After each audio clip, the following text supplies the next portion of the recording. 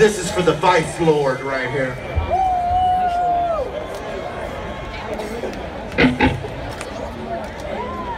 Kentucky, Ohio, and there's a little bit of Indiana.